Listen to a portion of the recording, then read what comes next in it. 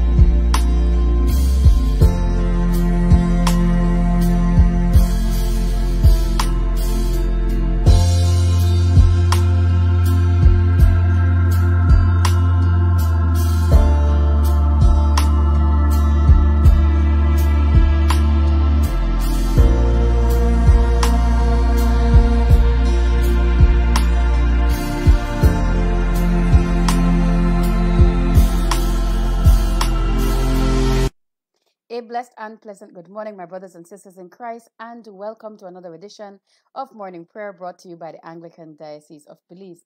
Today is the sixth day of October, and I pray that you are having a beautiful morning right where you are. We're going to start off this morning with a hymn entitled Day by Day and with each passing moment. Let's have a listen.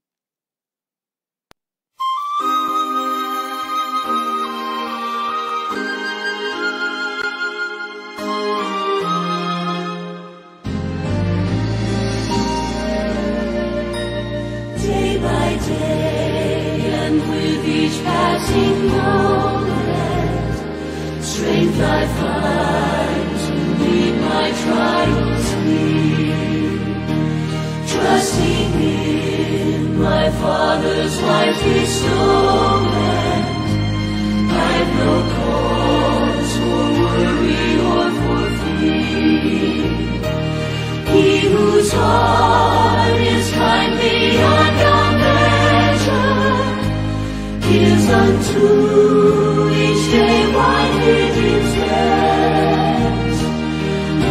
in me is part of pain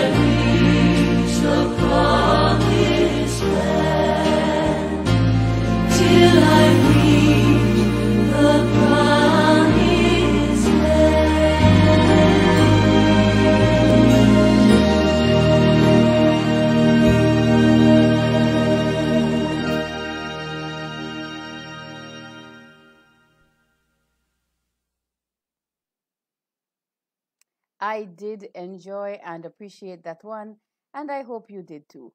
A gentle way to start the morning. We're going to get our words here up on screen in three, two, and one, hopefully. There we go.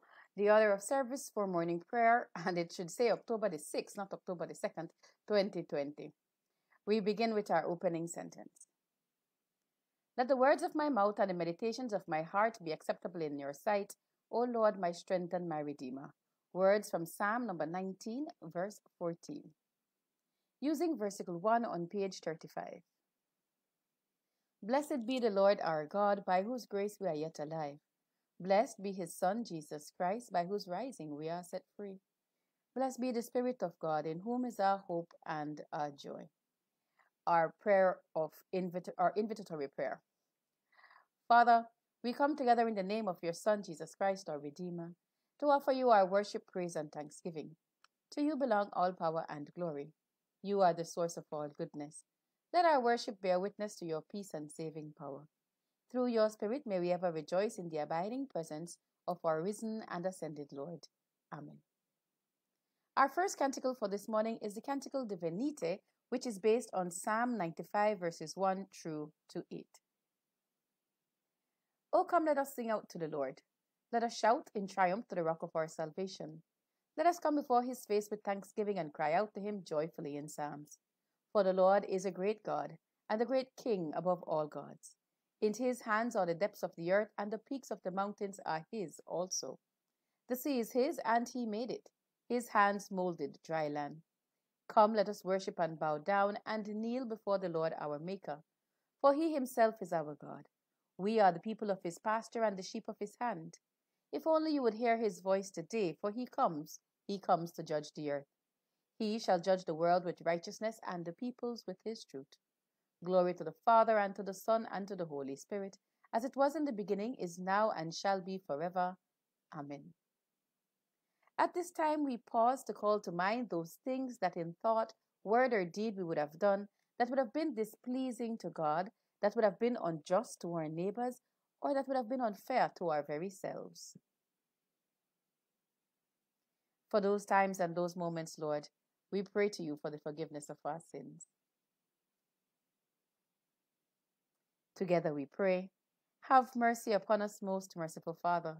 In your compassion, forgive us our sins, known and unknown, things done and left undone. And so uphold us by your Spirit, that we may live and serve you in newness of life to the honor and glory of your name, through Jesus Christ our Lord. Amen.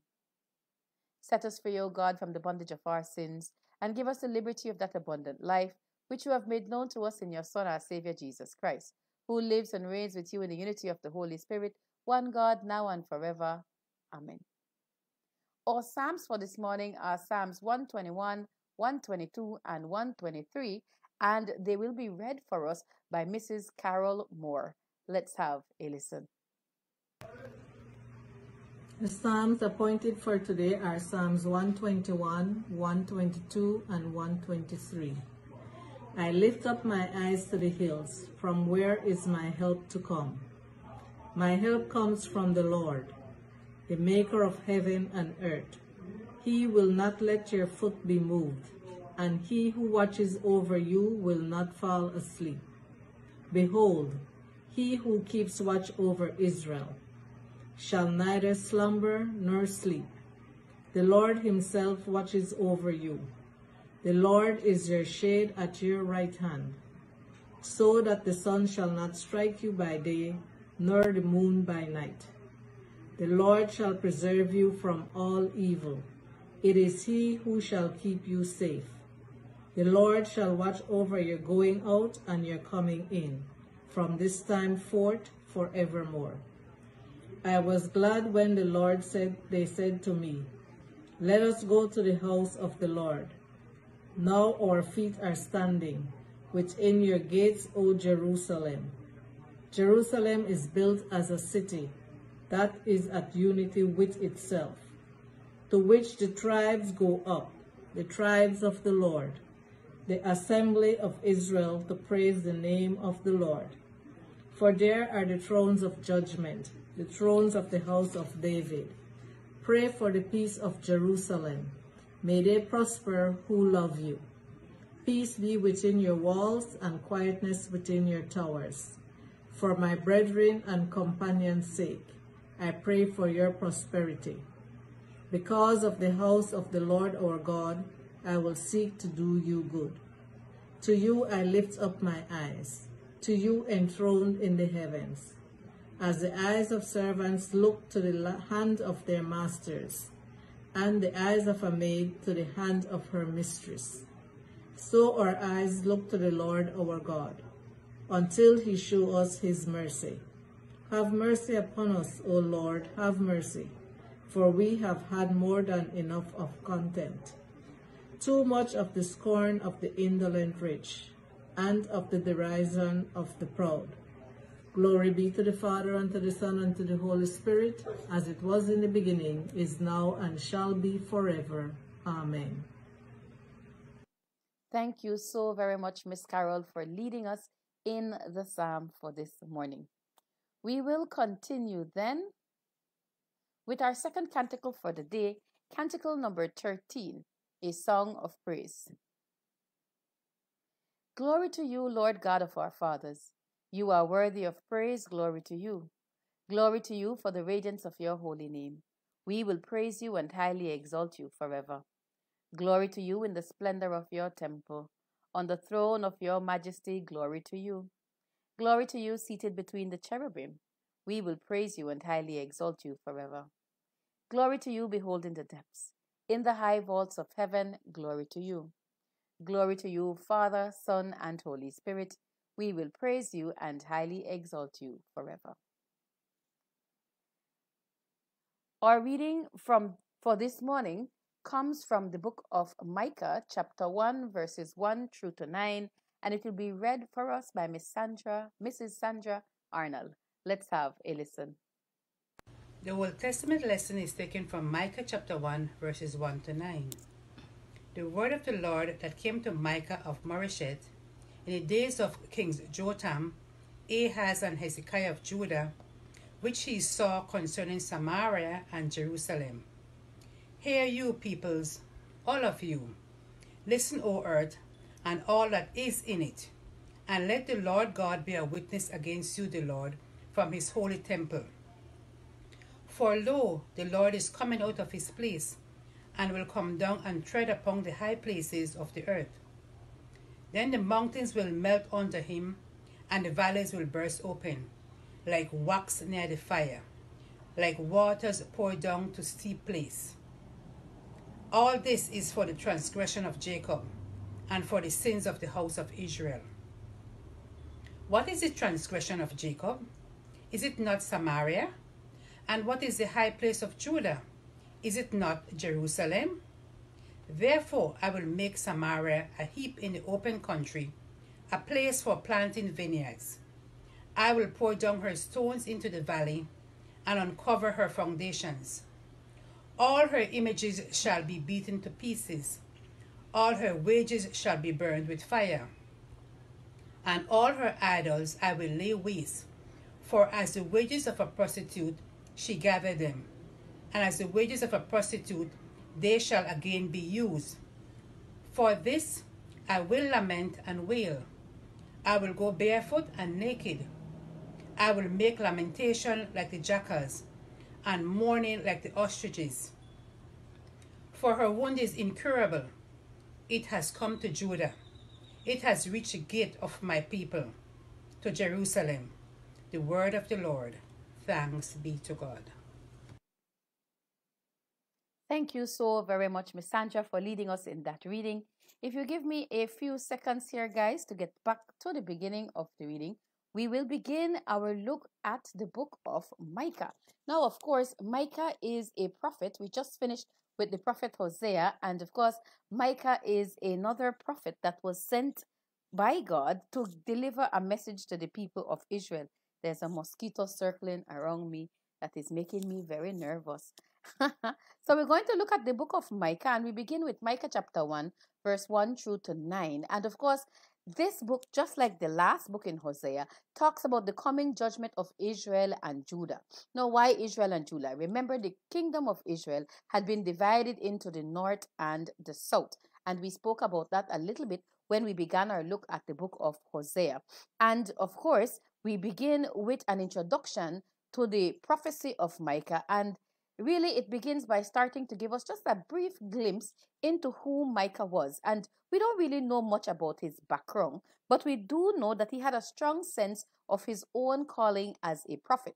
He came from the city of Moresheth, um, which was 25 miles south of Jerusalem on the border between the lands between Judah and the Philistines. And he ministered as a prophet sometime between the years 739 BC and 686 BC. And of course, we know as we're counting BC, we're moving towards zero when we get to the birth of Christ.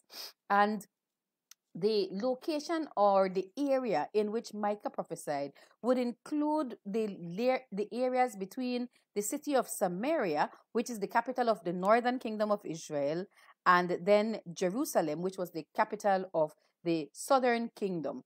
And so he was not prophesying to one part of the kingdom, he was sent by God to prophesy to the entire nation of Israel and not just the northern or the southern kingdom. And it's interesting because who would have thought, like I mentioned with Hosea, who would have thought that God's people would be so divided among themselves that they would be warring against each other? And why? All for the sake of following after teachings and prophecies of idols and um, other forms of worship that were not, of course, sanctioned by God Himself. And so we begin where it tells us that the word of the Lord came to Micah in the days of King Jotham, Ahaz, and Hezekiah of Judah, which he con- which he saw concerning Samaria and Jerusalem. And it begins, of course, by telling us that the Lord will be witness against these people because the Lord is in his temple and he was coming out of his place to come down to tread upon the high places of the earth. And it was an, a prophecy of the coming judgment that was going to befall Israel and Judah. And it's interesting because the Lord Himself is sending a prophecy that He Himself is coming to judge the nations. And vivid imagery is what Micah used. And Micah saw the Lord descending from heaven to earth and coming with judgment. And it talks about what would happen. You know, the mountains will, why is my stuff not working here? The mountains will melt under him and the valleys will burst open like wax near a fire. So clearly, all of creation will acknowledge the presence of God. The mountains, the hills, the waters, and of course, why is God coming? All of this is for the transgression of Jacob and for the sins of the house of Israel. And what is the transgression of Jacob? Samaria. What is the high place of Judah? Not if it not be Jerusalem. And nothing will be able to stand before God when he comes with his judgment for these people. And it's the same thing true for us. The mountains and the valleys will not be able to stand before him. And if the mountains and the valleys and all of nature can't stand before him, what then is the hope for the sinful man who would have to come before him? And that is interesting because this dramatic, powerful descent of the Lord is because of the sin of his people, and the sinful people couldn't stand before God. So basically, the nation of Israel um, could not, did not have any hope in terms of standing before God to answer for the sins that they would have committed. And it made me wonder to myself if the teachings that we have always carried through, that one day we will have to stand before God and answer for the things that we have done. How will I stand before God if it's all bad things? I mean, I could hardly stand before God if I had tried my best to do what is right, but more so if I am guilty of 10,000 things, how will I stand before God? And that is a scary thought for me. Now I know you you are far more well behaved than I am. I will openly admit that.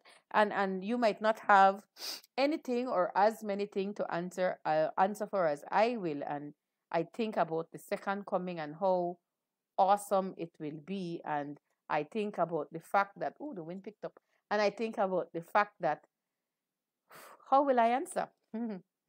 Anyhow, it goes on to tell us that Samaria will be left desolate after its judgment. Micah prophesied about the coming and the judgment that would befall Samaria, which is the capital city of Israel. And of course, the Israel would be the name given to the kingdom of the 10 northern tribes. So when they divided, 10 tribes went north and two tribes, because there's 12 tribes, the two tribes stayed south. And it's interesting because Samaria itself seemed to have been the nation that turned farthest away from God. And they were influenced by the Assyrians who had overtaken them because of their, their disobedience to God.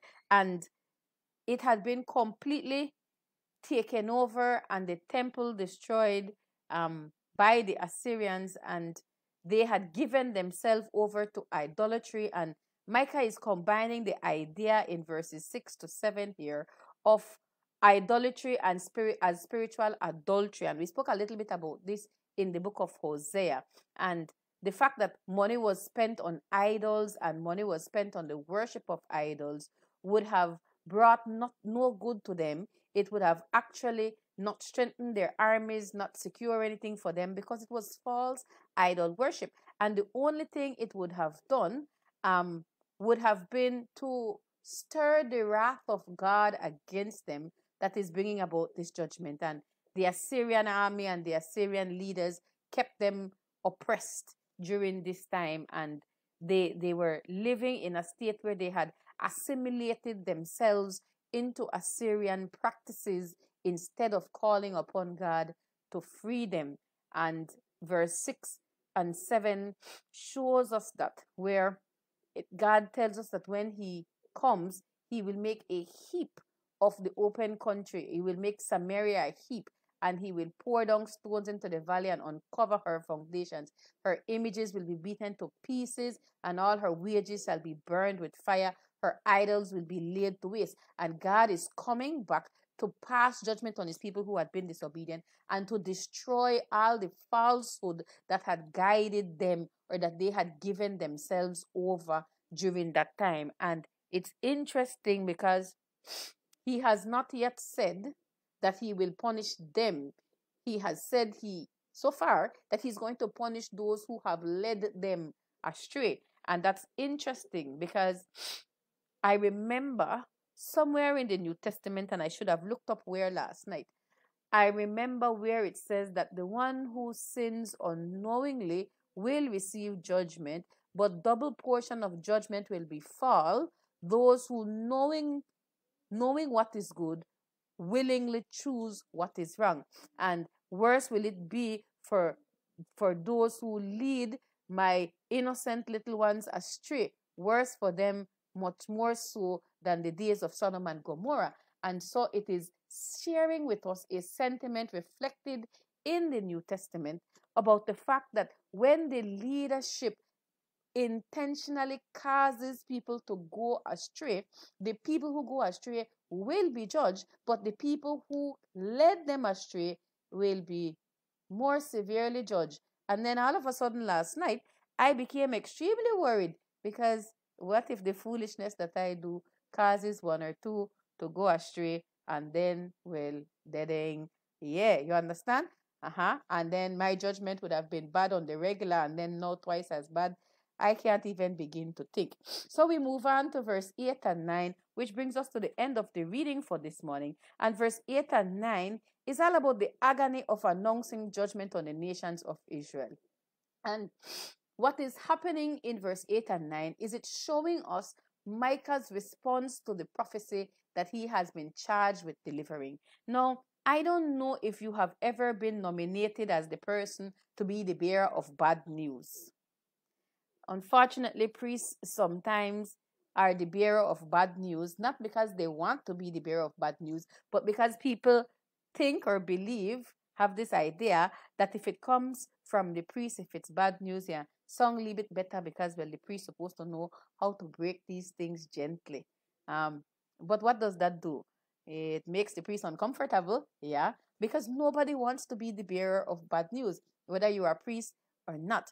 And so Micah could not prophesy in a in a dispassionate kind of detached way.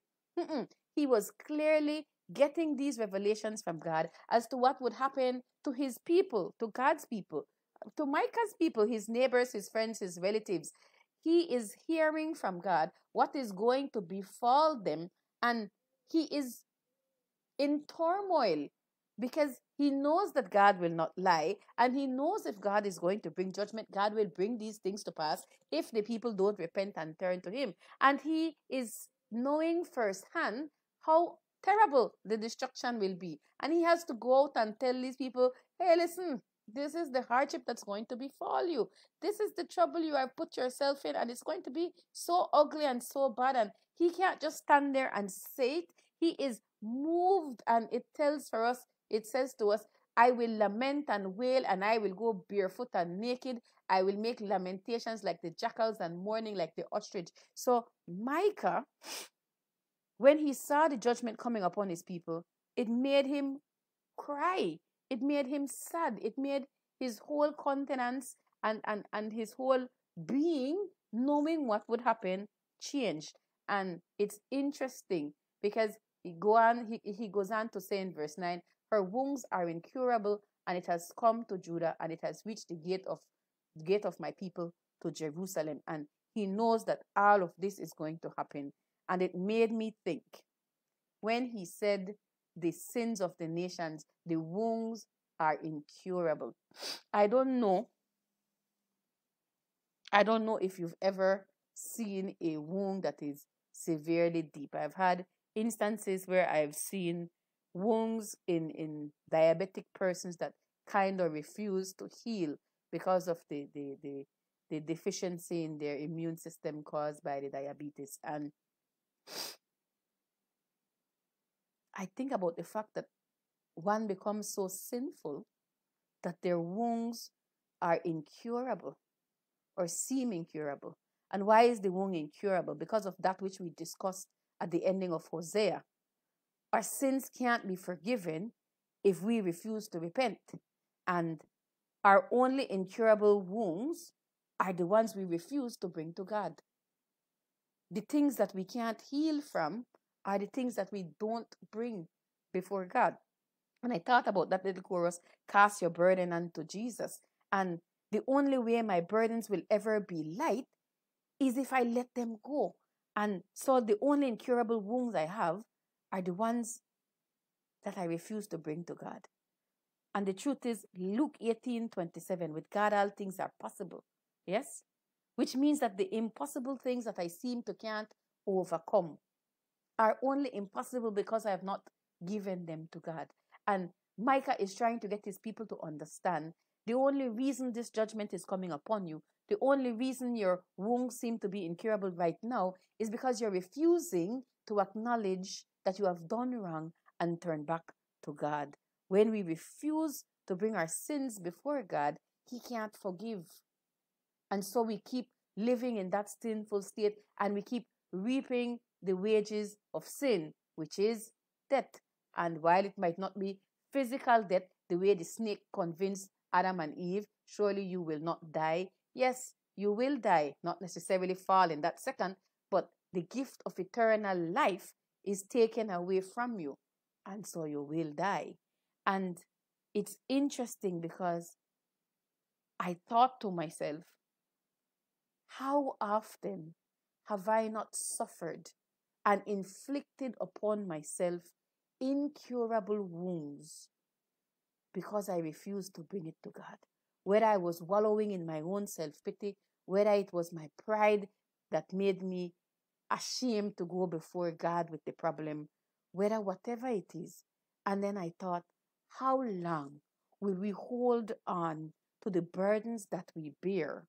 How long will we hold on to the sins that we have committed?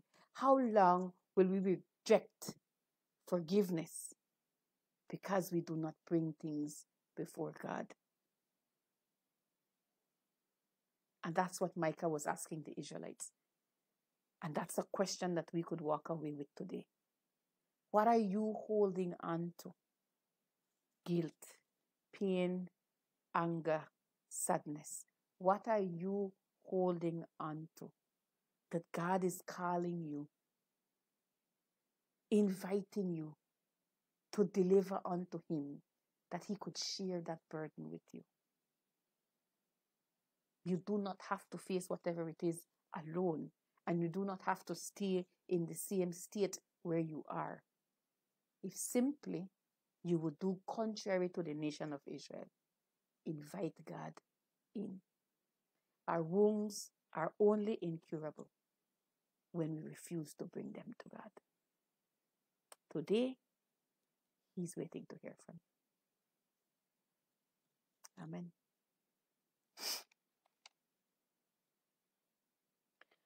We continue then with the profession of our faith in the words of the Apostles' Creed. I believe in God, the Father Almighty, the creator of heaven and earth. I believe in Jesus Christ, his only Son, our Lord. He was conceived by the power of the Holy Spirit and born of the Virgin Mary. He suffered under Pontius Pilate, was crucified, died, and was buried. He descended to the dead. On the third day he rose again, he ascended into heaven, and is seated at the right hand of the Father. He will come again to judge the living and the dead. I believe in the Holy Spirit, the Holy Catholic Church, the communion of saints, the forgiveness of sins, the resurrection of the body, and the life everlasting. Amen. The Lord be with you. As our Savior has taught us, so let us pray. Our Father in heaven, hallowed be your name. Your kingdom come, your will be done on earth as in heaven. Give us today our daily bread. Forgive us our sins as we forgive those who sin against us. Save us from the time of trial and deliver us from evil.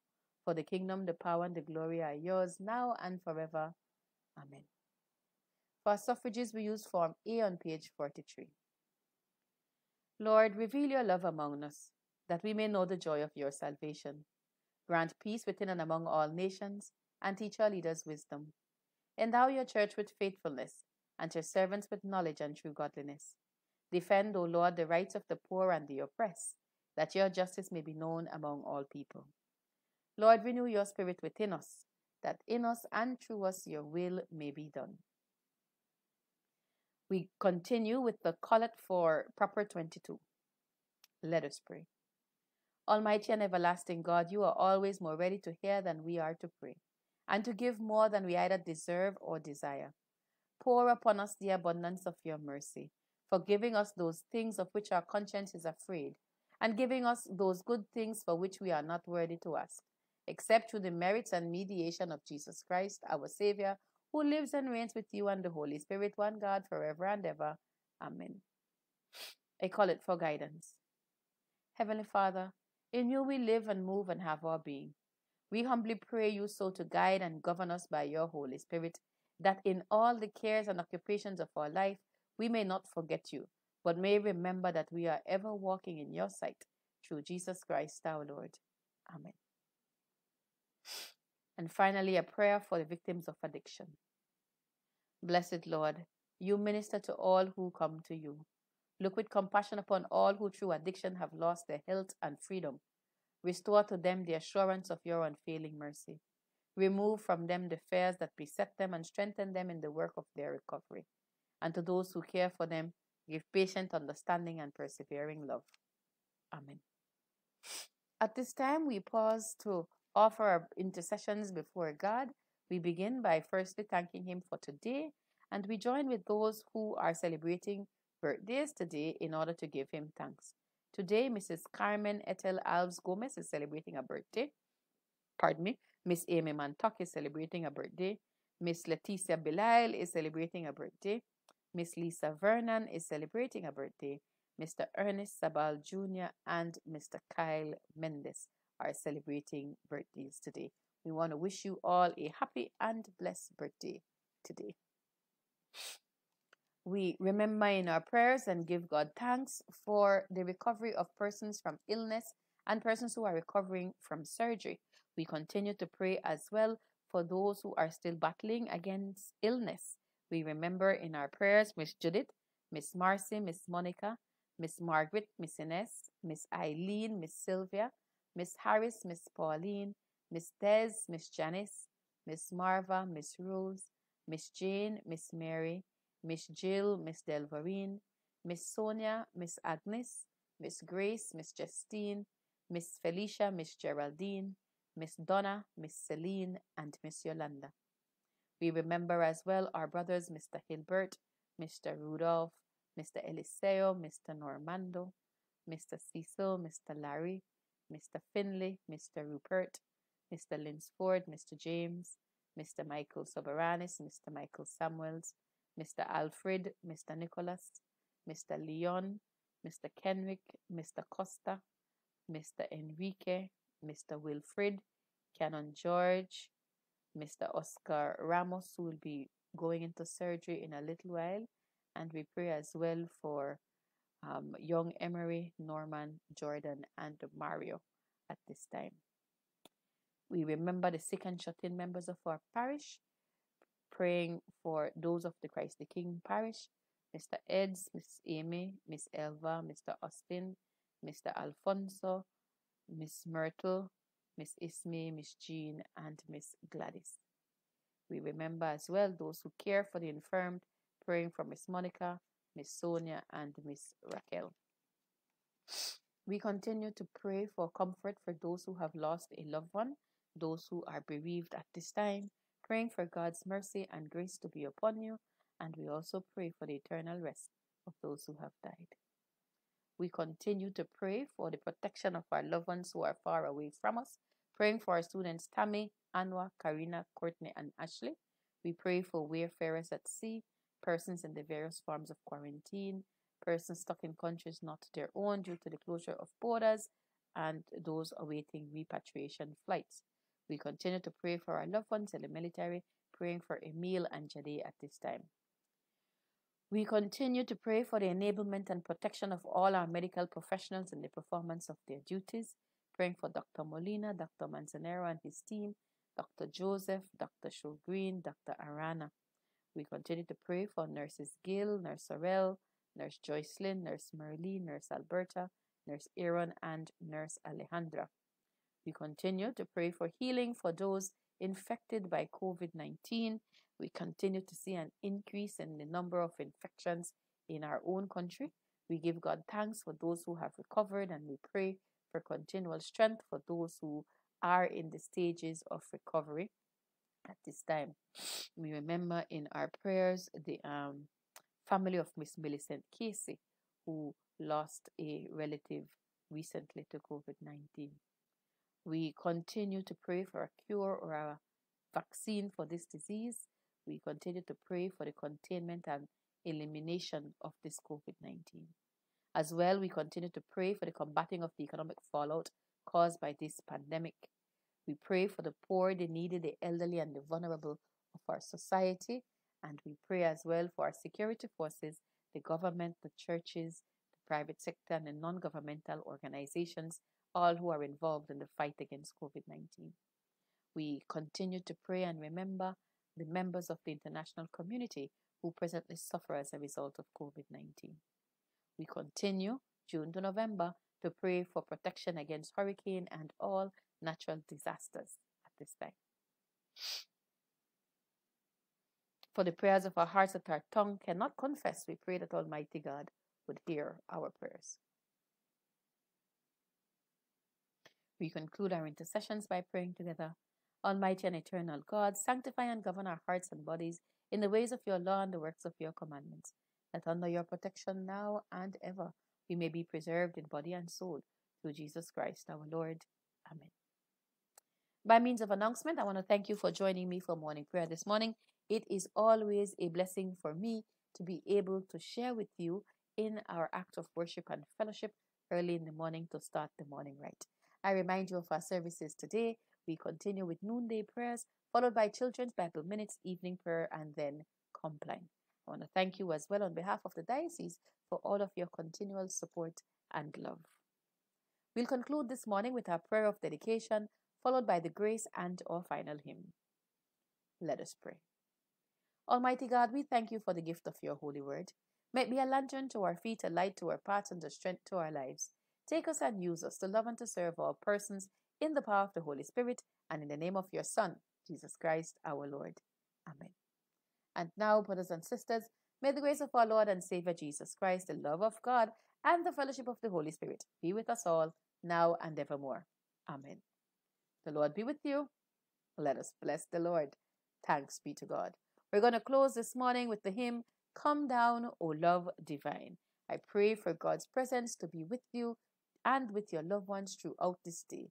And remember, no matter how big or how small, cast your burdens on Him, for He cares for you. Stay safe until next time. Bye for now.